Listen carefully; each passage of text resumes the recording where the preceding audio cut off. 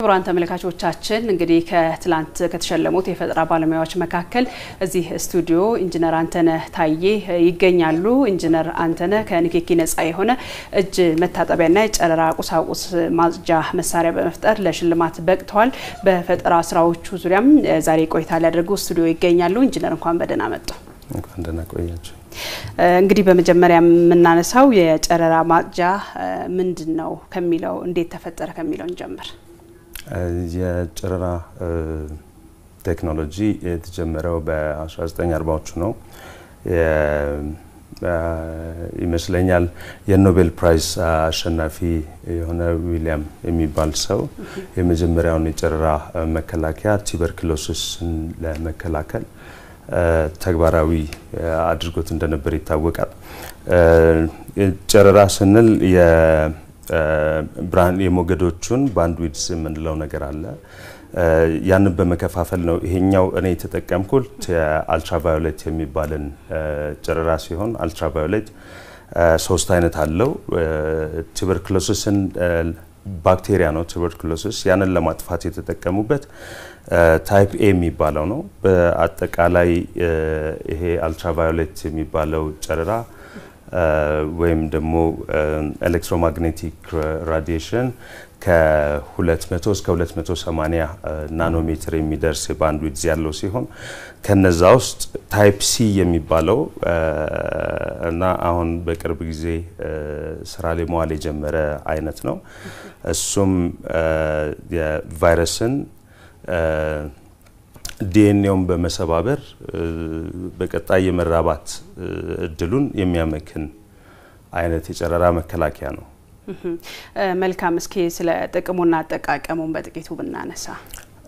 በመጀመሪያ የሰራሁት ከንክኪ ነጻ የሆነ የእጅ መታጠቢያ ነበር። እንደምንመለከተው በጣም ብዙ አይነት ሙከራዎች ሲደረጉ ነበረ፣ ሰዎችን ከንክኪ ነጻ የሆነ መጀመሪያ ወደ ሀገራችን ቫይረሱ እንደገባ በሰዎች እናስታጥብ ነበረ። ከዛ በኋላ በእግር ፔዳል የሚሰሩ ለመስራት ተሞክሯል። ስለ ቫይረሱ ሁኔታ ስንመለከት ግን ቫይረሱ በ size ኡ ትንሽ ከፍ ያለና content ኡም የ lipid content ይሉታል። lipid የ fat ከ fat የተሰራ content ስላለው size ኡም ከፍ ያለ ስለሆነ ከሌሎቹ ቫይረሶች ተለቅ ይላል፣ ገዘፍም ይላል እና በቀላሉ መሬት ላይ የሚወድቅ አይነት ነው። በምናስል በምናስነጥስበት ጊዜ በመሬት ላይ ይወድቃል።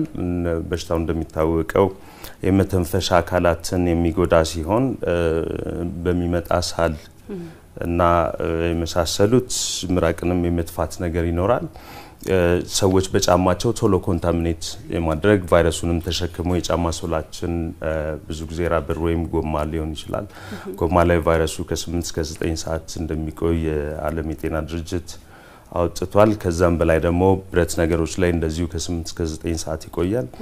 ስለዚህ በአንድ ፔዳል መጠቀሙ በእግር ፔዳል መጠቀሙ ያንን ቫይረስ ከበሽተኛው ብዙ share የማድረግ ነገሩ ታየኝና totally ከንክኪ ነጻ የሆነ ሳሙናም እንትንም ወሰድኩኝ። በዛ ሰዓት የተመለከትኩት ነገር ሌላው ነገር ምንድን ነው፣ ቤቴ ስገባ ለራሴ ይሄንን ከንክኪ ነጻ የሆነ ነገር ሰርቼ ነበር። ስገባ ግን የሞባይል ቀፎዬንና የመኪና ቁልፍ አስቀምጬ እሱንም ማጸዳበት means የለኝም። እጄ ከታጠብኩ በኋላ ያንን ደግሞ ተመልሼ ይዤ ይገባ ነበር።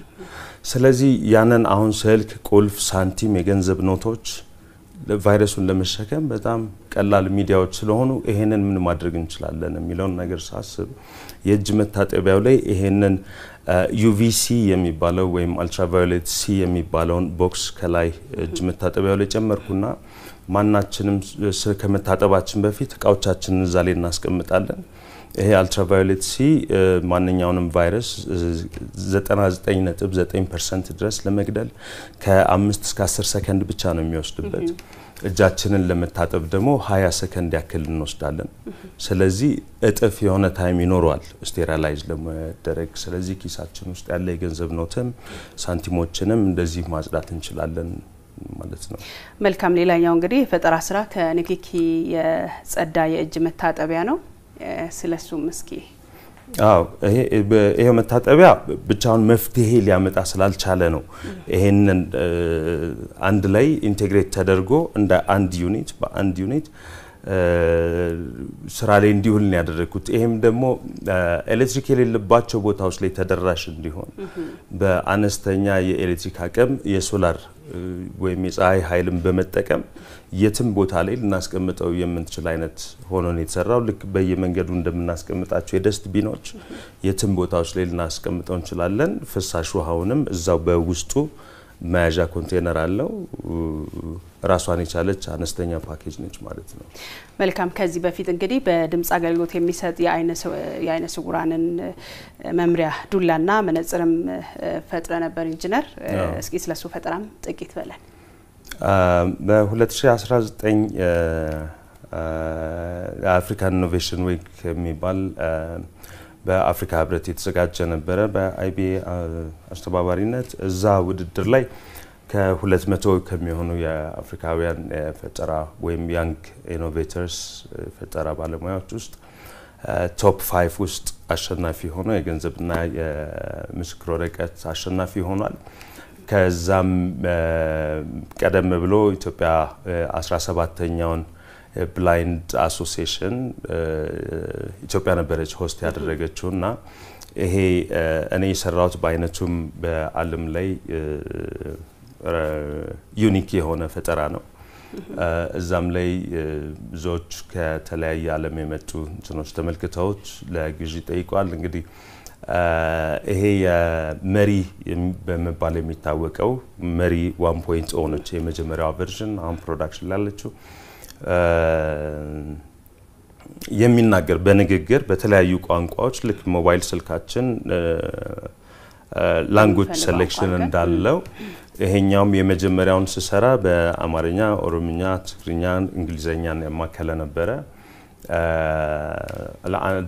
ከእርጥብ ወለልን ከሚለይ ጀምሮ አድርጌ ነው የሰራሁት። ምናልባት ታሪኩን ብዙዎች እንደሚያስታውሱት ኤርፖርት ላይ አንድ አይነ ስውር አንሸራቶት ሲወድቅ አይቼ ነው ወደሆነ ሀገር እየሄድኩኝ ለምን አይነ ስውር ላልሆኑ ሰዎች wet floor የምትል ምልክት አለች የምትቀመጥ እርጥብ ወለል የሚልና አይነ ስውራንን ያማከለ አልነበረም ያ ምልክት። በዛ ተንሸራቶ ሲወድቅ ሳይ እርጥበትን የሚለይ አድርጌ ነበር የሰራሁት። ከዛ እንደዚህ ከላይ ደግሞ መከላከያ አልነበራቸውም። ከላይ ደግሞ ያንን sense የሚያደርግ በመነጽራቸው ላይ በመጨመር ያቺ እርጥበት የምትለየው ዱላ በመጀመሪያ vibrate ነበር የምታደርገው። አሁን ለመነጽሩም vibration ካደረግን confusion ውስጥ ይገባሉ በሚል ብዙ ነገሮች ሳስብ ነበር። በመጨረሻ ላይ እቺ eureka moment ምንላት ወይም አሁን በራልኝ የምትይው ነገር ኬት ነው የመጣልኝ? አንድ ሰዎች wireless speaker በሚያበራ ሰዓት Bluetooth mode የሚል AUX mode የሚል ነገር ሲያወራ ሳይ ይህም የኔም አይነ ስውር ዱላ ማውራት ይችላል የሚል በዛ ሰዓት ሀሳቡ መጣልኝና ብዙ አደገች ዱላ። አሁን ወደ version ሁለትም እያደገች ነው ያለችው። መልካም እንግዲህ ዋናው ዛሬ ስቱዲዮ የተገኙት እንግዲህ የጨረራ ማጽጃ ጋር በተያያዘ በኮሮና ቫይረስ እንግዲህ ዓለማችን ላይ ሀገራችንም እንደተከሰተ ይታወቃል። ይህን መከላከል የሚያስችል ነው። መቼ እንዴት ነው ሰው ሊያገኝ የሚችለው? ሰው ጋስ የመድረሻው ጊዜ እንግዲህ አሁን ከ Ethiopian Innovation and Technology ሚኒስቴር በትላንትናው ዕለት በሽልማት አሰጣጡ ላይ እንደነገረን ከ UNDP የተገኘ የገንዘብ ድጋፍ አለ። ወደ mass production እንድንገባ ከአራት መቶ ምናምን የመጀመሪያ top 30 ተመርጦ ነበረ። ከዛ ውስጥ ቶሎ ወደ አገልግሎት ላይ መዋል የሚችሉ አስራ ሁለት ናቸው የተመረጡት። ከነዛ ከአስራ ሁለቱ እንግዲህ በአስቸኳይ መፍትሄ ያመጣሉ በሚል ወደ ህዝብ ለስራ ላይ እንዲውሉ በዚህ በአጭር ጊዜ ውስጥ እስከ ሶስት ወር ባልሞላ ጊዜ ውስጥ ያለኝ መረጃ እንደዛ ነው፣ ወደ ምርት ላይ እንደሚገባ ነው። ይሄም የኔም ምንድነው integrated የእጅ መታጠቢያና የ UV በአንድ ላይ integrated ነው። ስንመለከት ምንድነው independent ም ሆኖ ለምሳሌ ባንኮች ላይ ከእጅ መታጠቢያ ውጭ የገንዘብ note ን መቀባበያ አድርገን ያችን UV box ም እንደዛም አምርተን ለባንኮችና ለሱፐር ማርኬቶች ለተለያዩ ድርጅቶች ለማሰራጨት አስበናል። በዚህ በሶስት ወር ውስጥ እንግዲህ ወደ mass production እንገባለን ብለን እናስባለን። ኢንጂነር የመጨረሻው ጥያቄ ላድርግና የአይነ ስውራንን በተመለከተ የሰራኸው የፈጠራ ስራስ ምን ላይ ነው የሚገኘው? ገበያ ውስጥ ገብቷል ወይ? እሱ እንግዲህ አሁን final production type prototype የሚባለውን ወደ አምስት አይነት የተለያዩ አይነት ዲዛይኖች አሉ። በአይነቱ እንግዲህ የመጀመሪያ ስለሆነ በአንድ ጊዜ በሺዎችና በመቶ ሺዎች አታመርቺም። ከቀለም ጀምሮ ክብደቱን፣ የተለያዩ ነገሮችን እንዲመርጡ በአምስት አይነት ወደ መቶ piece ቻይና ሸንዘን ከሚገኝ አንድ የ electronics manufacturing ecosystem ጋር እንደዚሁ non-disclosure agreement በመፈራረም በአምስት አይነት ተመርቶ እንዲመጣና እዚህ ለተለያዩ ተጠቃሚዎች የተለያዩትን አይነቶች በመስጠት feedback ከነሱ በመውሰድ የትኛው የተሻለ ቀለል ብሏቸዋል፣ አጠቃቀም የቱ ቀሏል፣ የትኛው battery life ኡ ረጅም ነው ከነሱ feedback መውሰድ ስላለብን ያኛው ምርትና አሁን ትምህርቱ ያለው በዚህ በኮቪድ 19 እንትን ነው የተያዘብን ከቻይና እንዳይመጣ።